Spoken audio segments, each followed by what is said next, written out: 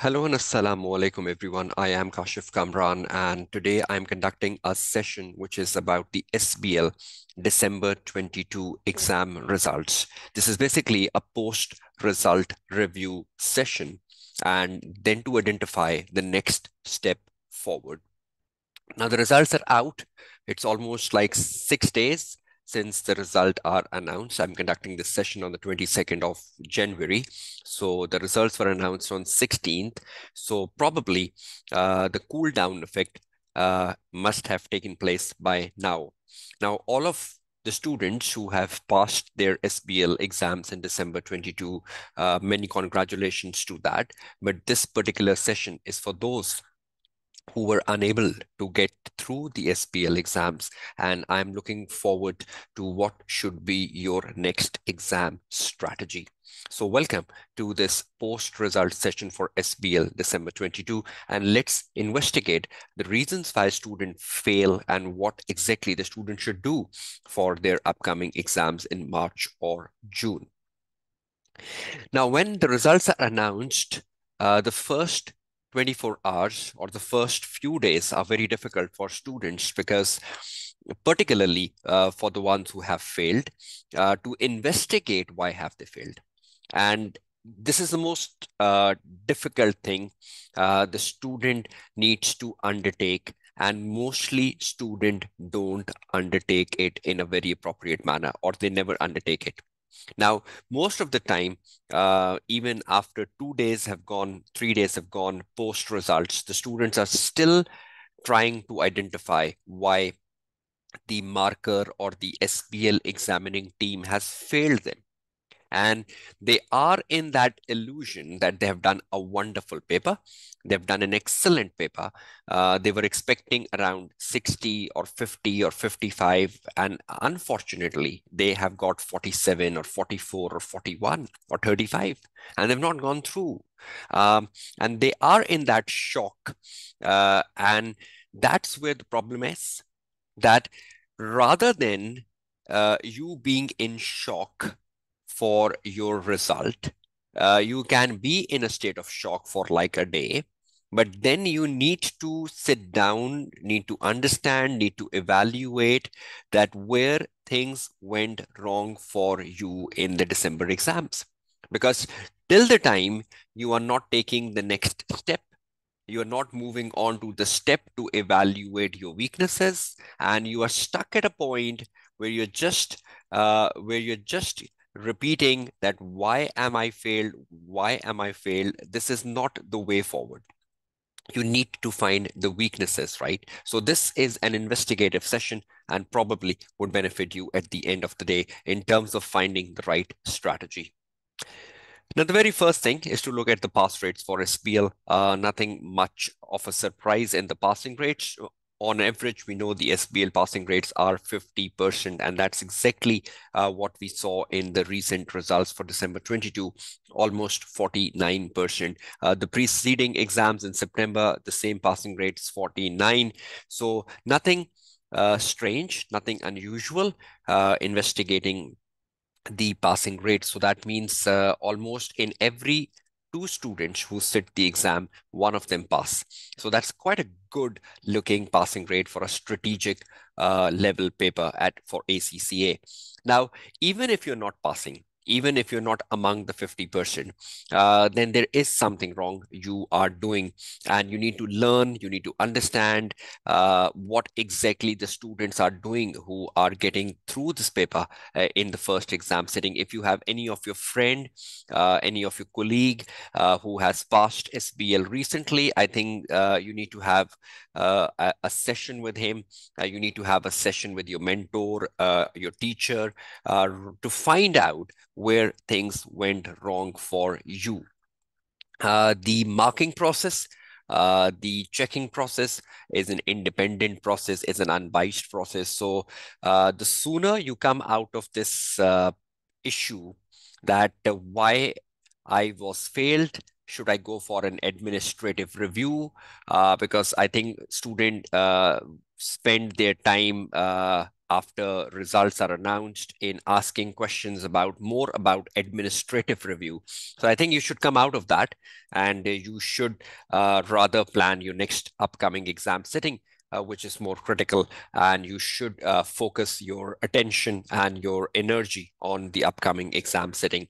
So this is a passing rate, good looking, encouraging, and that should also motivate you that 50% uh, passing rate is, is a good looking passing rate.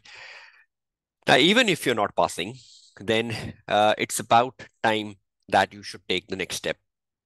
Now, taking the next step is the most important thing here because six days have gone by, the results are announced. Uh, and if you have not yet decided what you are doing for March or June, or you're still in a lost phase or a lost phase of mind, uh, it's about time that you you get up, uh, face the challenge, face the world, uh, and uh, failure is just a, a failure is uh, a new beginning, right? So take it as a new beginning and uh, you will be successful in your upcoming exams. So taking the next step, what should be what you should be doing? The very first thing uh, is to decide between March or June uh, whether you should be appearing for March or June if you have flunked in December exams. Now there are two equations here. Uh, if you are uh, if you have failed for the first time in SBL paper, this was your first exam sitting, right, in uh, December, and being your first exam sitting, you flunked, um, and uh, you flunked into 40s, anything in 40s. Uh, I would prefer go for March because you know everything, uh, you know the structure, you know uh, how to study, but again, you just need a fine tuning and I'll be guiding you on the fine tuning shortly. But that fine tuning and the amount of time you have, you have almost like six weeks before exams. So I think this is good enough time to fine tune and convert your 40s into 50s. So ideally should go for March. But for, for students who are struggling to pass SBL for like two attempts and three attempts, and they're still struggling to get through, and they're getting marks in like 40s and 30s, and they're not getting through. If you have an opportunity and you are not in any hurry or any other issues, uh, and you can ideally skip March and opt for June would be better because that gives you a breathing space, a time to sit down interact with your teachers, your mentors, find the best strategy, uh, uh, do uh, more practice of past papers, uh, try to identify your weaknesses, and in that way out, you can uh, better prepare yourself for June. So uh, anyone who gave the first exam sitting in December, the first sitting for SBL, and you eventually flunked, I think you should attack March, considering your marks were in 40s. If your marks were in 30s, uh, probably, uh, again, if you have an opportunity uh, and you can skip March, then skip March. If you have scored like 25, 30, 35, I think there is a lot, lot, lot to be done for improvement. It's, it's not just the fine tuning, it's broader than fine tuning so should go for june. Uh, and again if you are uh, if you are continuously failing in sbl despite a good looking passing rate uh, again, there is a larger problem, a bigger problem, which needs a proper investigation. And again, if you have an opportunity, you are not in a hurry, you can skip the March exams, then go for June.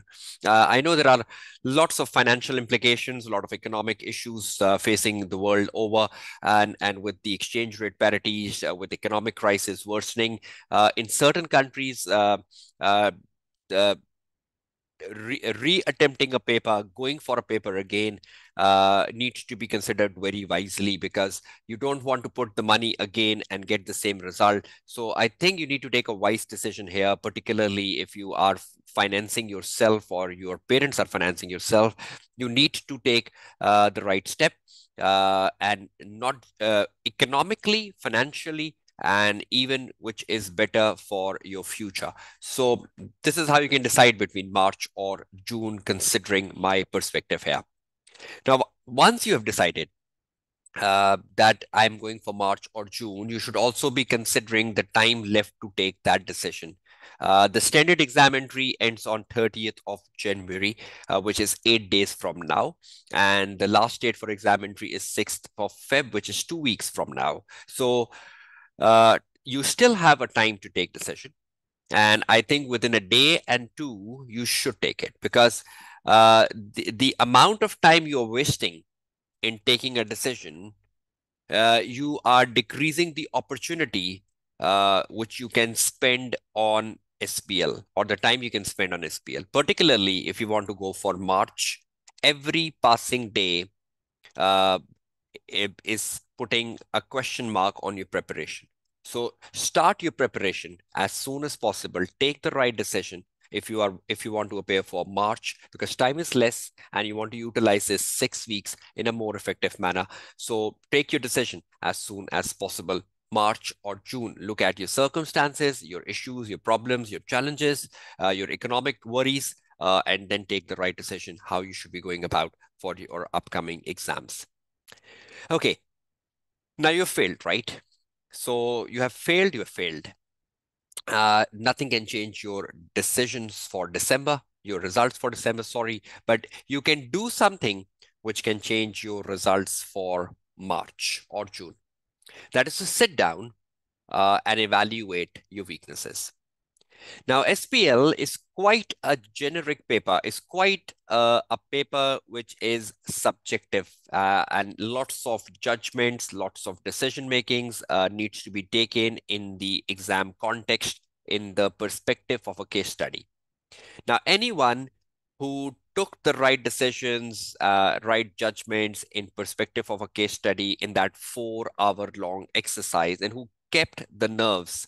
And uh, any student who lost the nerves, uh, lost the case study, uh, the first one hour of reading and planning time was lost. Uh, you did not grab grasp the case study in the first one hour probably uh, one of the main reason why you failed in your SBL exam because um, if you get control on the case study and the requirements and what to do uh, within the first 60 minutes, uh, you are on the right track to be successful. But even after one hour, you read, you plan, and when you come to the time you need to write, you need to execute. You're lost. Uh, you forgot. Uh, and you you cannot recall anything. Or you need to re you need to go again into the case study. That's that's where you're creating the risk factor for you. Uh, and that's uh, that's where you're going on the wrong track. So first of all, ask a question to yourself that how confident you were on the case study and the requirements and the absorption uh, within the first 60 minutes. That's the first question. The second question is that while you were writing the answer, how were you writing the answer? Were you writing the answer which was according to the expectation of the examiner? And I'll be dealing with that shortly. Uh, that what is the expectation of the examiner? What are key things examiner is looking for in your answer to reward you marks? Uh, were you able to meet that particular threshold while you were writing the answer. So one part is the reading and planning. One part is the writing. Uh, the, the, the time, the investment you're putting on the first, in the first 60 minutes uh, is really, really important for the remaining three hours. Because if any student lost track after 60 minutes, uh, you are going towards failure because you will be in panic. You know, one hour has gone and still I can't understand the case. I cannot control the case. I still don't know what to do, uh, how to connect the exhibits with the requirements. Uh, and that's where you're spoiling yourself and in the SBL context. Four hours is a very long time, right? To put yourself uh, in a calm mode, uh, controlling your nerves, controlling your emotions, uh, spending that long four hours in exam scenario. Uh, there might be some technical glitches which might be affecting you negatively. Uh, but it remain uh, keeping yourself composed and calm is the key to success. So how would you go about evaluating yourself? Uh, can we self-evaluate ourselves? Because most of the students are very bad in self-evaluation. most of the students, uh, whenever they self-evaluate them themselves, they find their strengths, not their weaknesses. So in that sort of a context, uh, can self-evaluation give you the right answer? Uh, if not, then you have your teachers, you have your mentors uh, to talk to and find and find where things went wrong, or even my session uh, can give you something out of it. I believe when you're evaluating yourself, this is what you need to do. You need to read the September December 22 examiner report, which is now available. And you need to read through uh, this examiner report uh, because this examiner report will tell you uh, something about the good students and the bad students. Examiner will tell you something about the stronger students and the weaker students. Examiner will give you some word of advice, some suggestions for the future upcoming exams. And that's where you can investigate where you went wrong. You need to have a red and a green pen uh, while you're reading through the examiner report. Wherever you find a criticism of the examiner, something the examiner is criticizing, something where the examiner is talking about bad students, weak students, put that in red, bracket, underline. And wherever the examiner is telling you something about strong students, good students, and examiner is giving you an encouraging feedback, put that in green. Now that red and green analysis at the end of the day, try to relate the red with you. If you find few reds which are relatable with you, you are identifying the reasons why you failed in your recent exams. So I think that is one good practice you can do. And that practice can give you opportunities. Can I help you identify the the do's and don'ts which you can really implement in a positive manner in your upcoming exams in March or June. So evaluate your weaknesses in the reading and planning time, in the writing time, uh, evaluate uh, how you spend the four hour in the exam context because you are the best judge of what you did in the four hours. Uh, if you still fail to find, then the examiner report can help you uh, finding some of your weaknesses. So that's, that's number one. Number two, if you are clear, you want to go for March or June, uh, you are clear of finding some of your key weaknesses which led to a failure in the recent exams, then the next step is to sit down with the right resources. Remember, you are repeating the SBL paper, right? You are not appearing in the SBL paper for the first time. You're repeating it. And because you're repeating the SBL paper, uh, you should refine your study resources. Let's see, what are ideal study resources to sit down with uh, when you're preparing for exams uh, in March or June? The right resources in front of your screen. Number one, technical articles. Uh, and as a tutor, I'm very fond of it.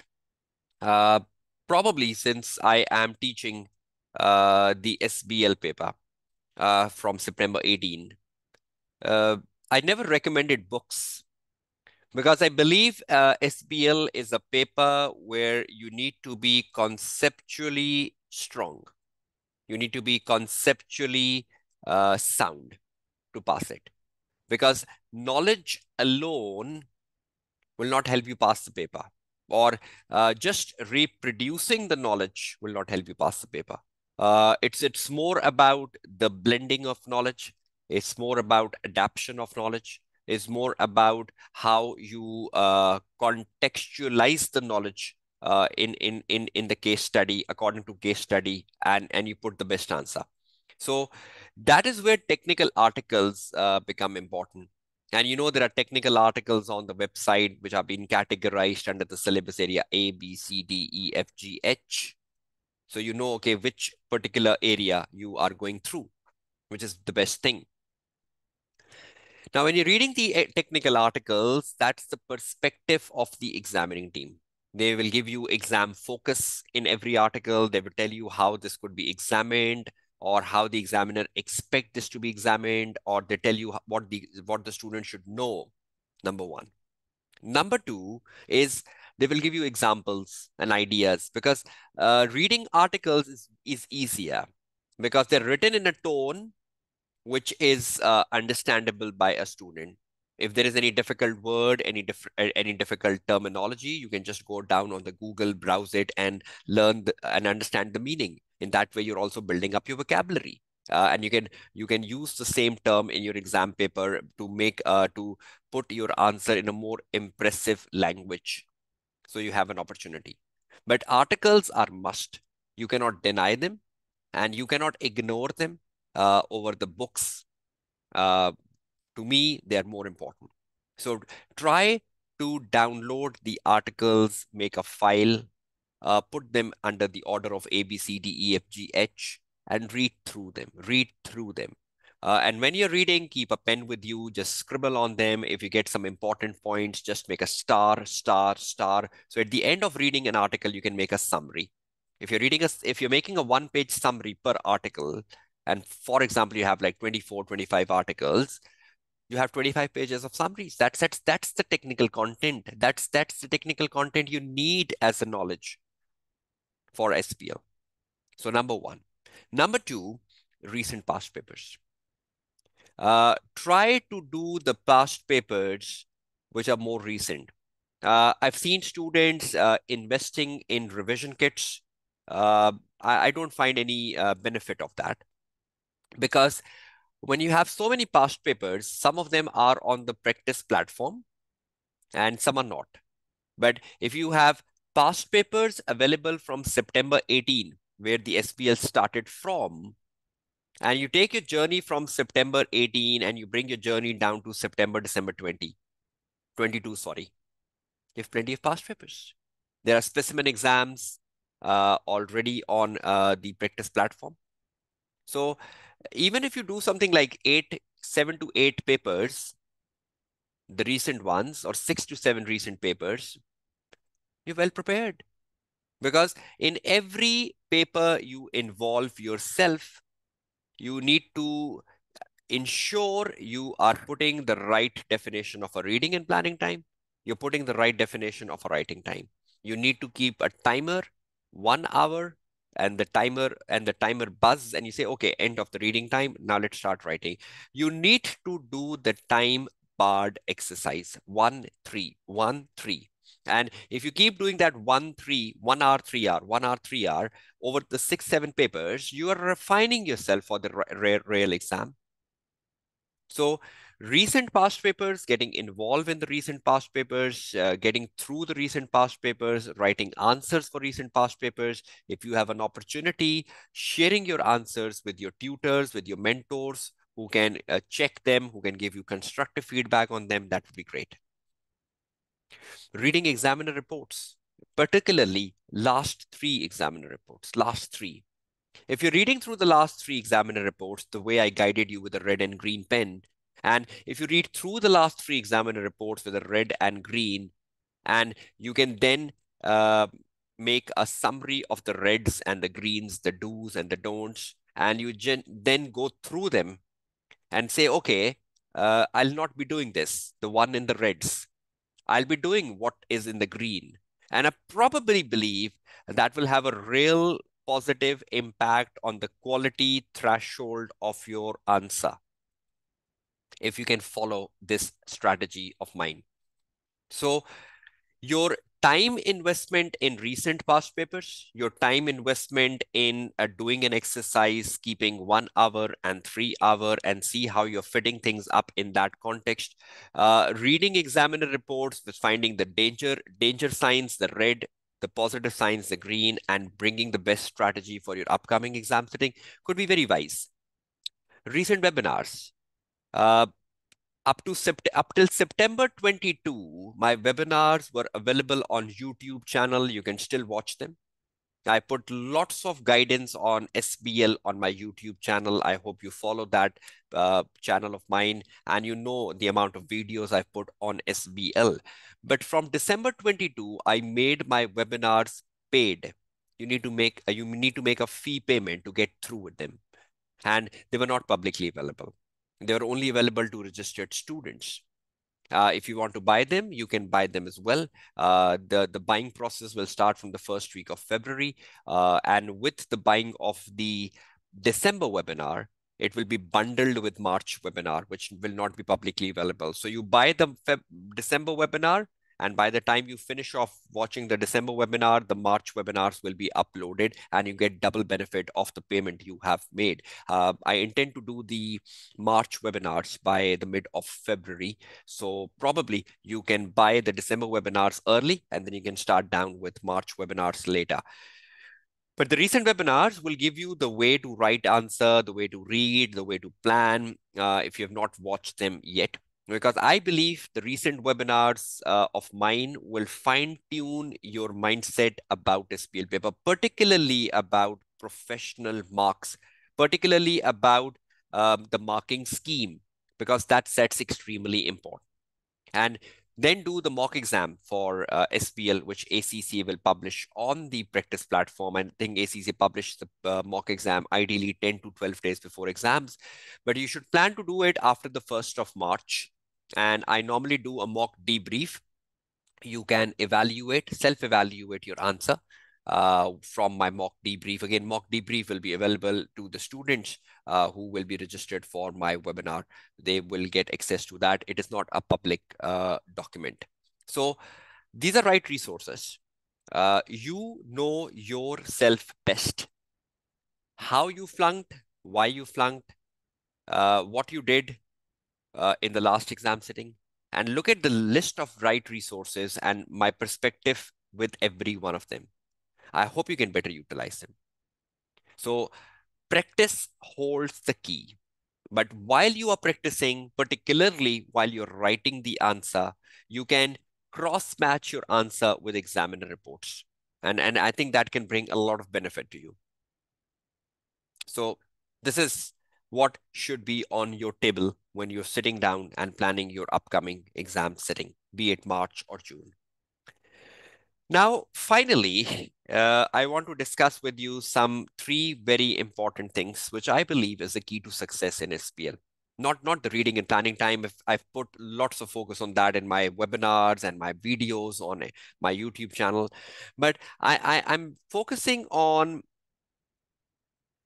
the top three key to success for SBL, which I believe is a cause of concern uh, when I look at student failing the SBL paper. The first one is adaptation. I was just discussing this point a uh, few minutes ago, that a lot of time the student read the BPP book and the Kaplan book, which has a overload of information. And you read and read and read and read and read the book, and you that book gets here in your mind you learn models, you learn theories. There are so many models across the syllabus area. There are so many theories across the syllabus area, writers, theorists, and you learn them. Now, on the day of exam, when you are looking at the case study, and there is a requirement about uh, Mendelow matrix or Mendelow framework, there is a requirement about uh, power and interest of a stakeholder, something like that. Or there is a requirement uh, asking you the risk management strategies like the transfer, acceptance, reduction, avoidance. Or uh, there is a requirement asking you something uh, of a model like, uh, like the pestle analysis, the macro environment analysis. And you just uh, put the knowledge you have about the model or you try telling examiner a background of the Mendelow matrix or what is a power or what is an interest, but you're not relating it with the case study. You're not adapting the power in the context of the case, what the case is telling you about the power or which stakeholder the case is telling you, or you're not relating the interest in the context of the interest of the stakeholders shown in the scenario. You're not adapting. A stand-alone knowledge or the knowledge reproduced in the paper is known as generic answer, which will fail you in the SBL paper. If you want to really pass the SBL paper, the rule, the key to success is your adaptation.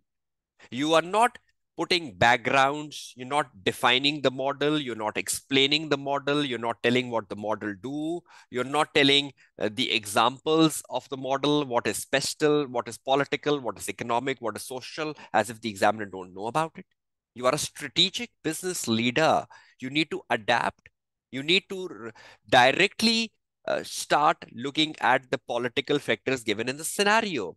Or you should directly start looking at the stakeholders in the scenario and then identify their power and interest and conclude whether they are key players or keep satisfied or minimal efforts, etc. So till the time you're not relating with the case, your knowledge, alone knowledge is useless. So knowledge is needed to a certain level, but that knowledge needs to get adapted in the context of the case, uh, the situation of the case, what the examiner is telling you in the long story given to you to read. And that long story will tell you how you should adapt the knowledge you have about PESTEL or Mendelow matrix or uh, or the risk management strategy like transfer acceptance reduction avoidance and you try to find out that the approach taken by the management to transfer is right or wrong, or you are recommending management that they should transfer this particular risk and justifying why. So alone knowledge. And again, a lot of time the student forcefully try to implement a model in their answer when model isn't the best answer. Not every time the model is the best answer. You can, uh, if there is a question where picking up a model is difficult, and you solve that answer without a model, but you relate the requirement, the the the uh, the requirement, what the requirement is asking for with the case study, you will still get marks. Because I remember that when the when there was the first exam sitting to SBL that was in September 18, uh, examiner wrote an article after the September 18 exam sitting was over because that was the first one. An examiner wrote an article, 10 things to learn from September 18, And in that, examiner mentioned that model isn't the best answer. I've covered this on my YouTube channel. So if you try to forcefully involve a model when there is no model, or you believe that every requirement asked for in SBL, you need to put a model, you put you need to put a theory, you're wrong. Because not every answer needs a model. Uh, where a model is needed, that's very explicit. An examiner will give you a clear hint of that. But even if you do an answer without a model, you can still survive. Prob because you've given the answer in the context of the case, in the perspective of the case. So that's how you need to go about it. So that's number one, adaptation. Number two, case absorption. the more you involve in the case study and you have one hour reading and planning time to get involved in the case study, to, to get into the case study. You have one hour to dig things out of the case and you relate them with the requirements. In my previous webinars, I've covered the technique of reading and planning, how you utilize that one hour to absorb the case here. In one hour, the case gets here. You're absorbing it. And the best advantage you get of a case absorption is that when you're writing the answer, your, your answer is reflective of the case. And that is something which impress the marker checking your paper.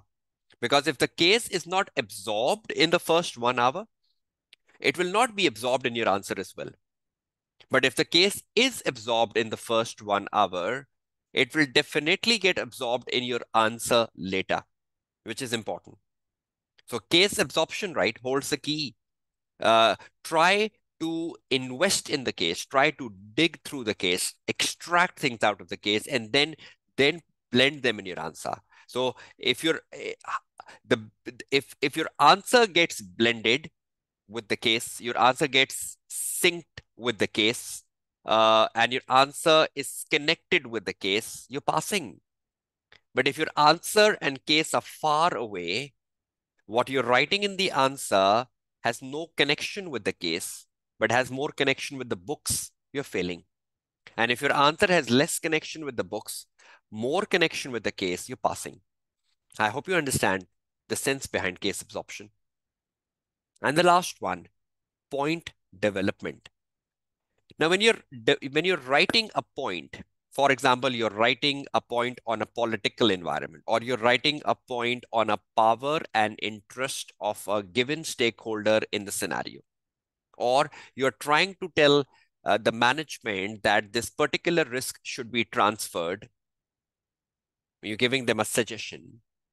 You need to develop your point. And the SBL examining team do tell us that every good developed point should ideally be three to four sentences long, not, no, not, not more than four sentences long. That is too big. And a, a, the SBL examining team don't like a point beyond four sentences long. A sentence is where you put a full stop. I'm not saying four lines long. Three to four sentences long is one good point, or two to three in some cases. For example, you're telling that this risk should be transferred and why might take two to three sentences. But if you're talking about like a political environment, might take three to four sentences per point. And per point is two marks, two technical marks. Now, you can evaluate some of the examiner answers. We know examiner writes a lot bigger, so you should not get impressed with that. And you know, you should not say, okay, I'll write this much. Because if you follow the footstep of the examiner in everything the examiner do in the answer, ignoring the fact that the examiner answers are tutorial guidance, you will fail. There are limitations of examiner answers. I don't know why students don't understand that. Why are they so much impressed with examiner answer and they even take the bad things of examiner answer? Examiner writes a lot because it's a tutorial guidance. He wants to guide you on every perspective. He wants to guide you that this, this was the right point, this was the right point, this was the right point, this was the right point. He's not telling that you need to write all of them. You need to see the marking scheme, how many points you need to write. So point development, for that, you can evaluate some recent answers of examiner just to see how he, how he develops a point, how he explains a point. Because if you are developing a point which is just like one sentence long or two sentence long, that's not worthy in SBL. It should be two to three or three to four is a better point development. And again, that point is to be picked from the case. Whichever point you're explaining is coming out of the case to make it a more valid point development. So three things to me, adaptation, case absorption, and point development, which, which I believe is, is the key to success. There are so many other things. Your investment in reading and planning time, is very, very critical, right? Is, is one of one of another very important factor for success. So I hope this session uh, will help you decide whether you're going for March or June. The session will help you decide the right resources you will put on the table. The session will also help you decide how you can improve things in SBL as well. And particularly, you will be following my uh, YouTube channel for more guidance videos on SBL I've done in recent past. You can follow me on the social media. Uh, and you can follow me, uh, you can book any course at lms.kashifkamran.com. Uh, you can WhatsApp me at my given number on screen. Just the messages, no calls, please.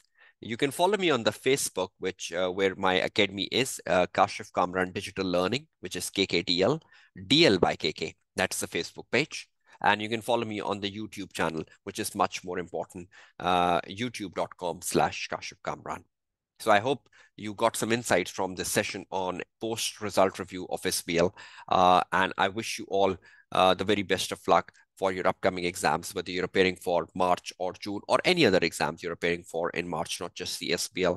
This is your tutor, Kashif Kamran, signing off from this uh, investigative session on post results for SBL December 22 from my setup, Kashif Kamran Digital Learning. Take care, goodbye, and Allah Hafiz.